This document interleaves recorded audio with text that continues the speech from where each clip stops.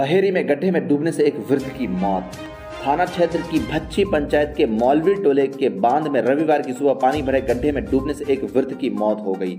उसकी पहचान गाँव के ही स्वयं कामेश्वर यादव के पुत्र 60 वर्षीय रामप्रीत के यादव के रूप में की गई। परिवार के लोग ने बताया कि रामप्रीत एक दिन पहले ही घर से सोच के लिए निकले थे, लेकिन घर वापस नहीं आए। इस बीच उनकी खोजबीन की गई, लेकिन वे नहीं मिले। समझा जा रहा है कि सोच के बाद पानी लेने के क्रम में पैर फिसलने से वे गहरे पानी में चले गए, जहाँ डूबने से उसकी मौत हो गई। मौके पर पहुँची बहरी थाना की पुलिस ने लाश को पोस्टमार्टम के लिए डीएमसीएच भेज दिया। पोस्टमार्टम से आने के बाद लाश का गाँव में दाह संस्कार कर दिया गया। उनकी आकस्मिक मौत से गाँव के लोग हतभर्त दिखे। उनकी पत्नी की पहले ही मौत हो चुकी है। उनके चार पुत्र व दो पुत्रियाँ हैं। जल संसाधन मंत्री से लोगों ने की शिकायत। गोपालपुर पिंडा रूच में निरीक्षण के दौरान ग्रामीणों ने जल संसाधन मंत्री संजय झा को अपनी समस्याओं से अवगत कराया। लोगों ने कई कमियों की ओर इशारा करते हुए मंत्री से शिकायत की। कहा कि लगभग प्रत्येक वर्ष वे लोग तबाही को झेलते आ रहे हैं। गत वर्ष भी काफ़ी तबाही झेली है। लोगों को घर से निकलना मुश्किल हो जाता है।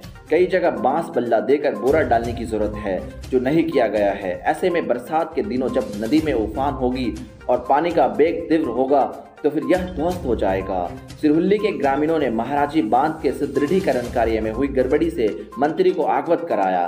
कहा कि बाँध के बगल से ही मिट्टी काट कर डाली गई है। कई तरह की गड़बड़ियाँ की गई है। जिसका खामियाजा तटबंध के ध्वस्त होने पर ग्रामीणों को झेलना पड़ेगा। साथ में मौजूद केवटी के भाजपा विधायक डॉक्टर मुरारी मोहन झा ने भी ग्रामीणों का समर्थन करते हुए कार्य की गुणवत्ता पर सवाल उठाए। मंत्री ने प्रत्येक शिकायतकर्ता की बात को बारी बारी से पास बुला बुला कर गंभीरता से सुना। और संबंधित पदाधिकारियों को तमाम तरह की कमियों को दूर कर सब कुछ विलंब दुरुस्त करने का निर्देश दिया। मौके पर मौजूद DM doctor Thiyagarajan SM ने लोगों की आश्वास किया कि जो भी शिकायतें हैं, उसे अविलंब दूर कर कार्य में हाल सुधार किया जाएगा। उन्होंने कहा कि इस साल, पिछले साल की तुलना में इसे ऊँचा किया गया है, लेकिन यह पर्याप्त नहीं है, यह हम लोग भी जान रहे हैं। और बढ़िया से तटबंध बनाने के लिए ज़मीन भी लेनी पड़ेगी।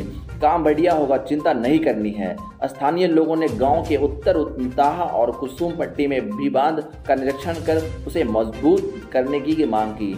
इस पर मंत्री झा, श्री झा ने काम करने जाने का भरोसा दिलाया। उन्होंने कहा कि अब तक जमींदारी बाँध मरम्मत में बजट का प्रावधान जल संसाधन विभाग में शामिल नहीं था, अब जोड़ा गया है। बजट आने पर आगे कार्य किए जाने का आश्वासन दिया।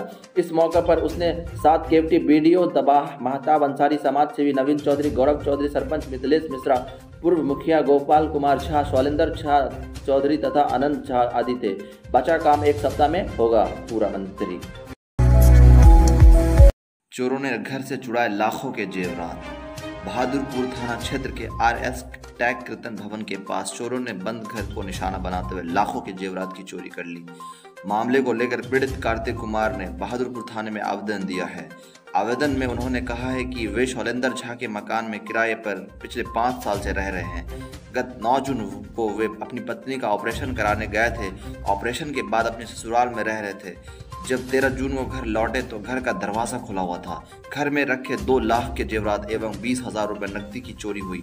जब इस बात की जानकारी प्रशिक्षु डीएसपी शाह बहादुर थाना अध्यक्ष रामकृष्ण को मिली तो वे पुलिस बल के साथ घटनास्थल पर गए। उन्होंने ब्रेकी से घटनास्थल का मुआयना किया। उन्होंने बताया कि चोरी की प्राथमिक दर्ज कर ली गई है। चोरों का पता लगाया जा रहा है। जल संसाधन ने महाराजी बाँध किया निरीक्षण। सूबे के जल संसाधन, यह सूचना एवं जनसंपर्क मंत्री संजय कुमार झा ने रविवार को केवटी प्रखंड के गोपालपुर पिंडा रुच में अधवारा समूह की धौस नदी पर बनने वाला महाराजी बाँध के सुदृढ़ीकरण कार्य का निरीक्षण किया। महाजारी बाँध का निर्माण एक करोड़ छब्बीस लाख की लागत से होगा। उन्होंने पिंडा रूट से गोपालपुर गाँव तक बाँध पर पैदल चलकर गहनता से मुआयना किया। गत वर्ष गोपालपुर के पास बाढ़ के दौरान हुए कटाव स्थल व ओवर टॉप वाले स्थानों का भी उन्होंने निरीक्षण किया। वहाँ बाँध का ऊंचीकरण व सुदृढ़ीकरण किया जा चुका है। इस दौरान उन्होंने केवटी सीओ अजीत कुमार झा को अन्य पूर्व कटाव स्थलों का कार्य का भी निरीक्षण कर लेने का आदेश दिया। मंत्री के साथ डीएम डॉक्टर तयागराजन, एसएम तथा केवटी विधायक डॉक्टर मुरारी मोहन झा के अलावा जल निसरण, दरभंगा कार्यपालक अभियंता व सदर डीसी और राकेश गुप्ता भी थे।